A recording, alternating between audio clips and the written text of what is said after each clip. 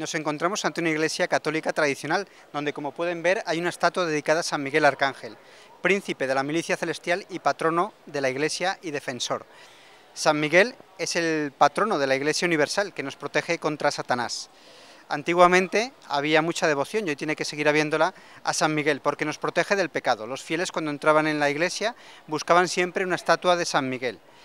Es importante que tengamos devoción a San Miguel, porque cuando Lucifer se rebeló contra Dios y dijo no serviré, San Miguel fue el primero en salir en defensa de Dios y dijo ¿quién como Dios? Y nosotros tenemos que defender los derechos de Dios y decir ¿quién como Dios, Señor? Tenemos que defender sus mandatos. Y para eso es importante, tenemos el ejemplo en San Miguel.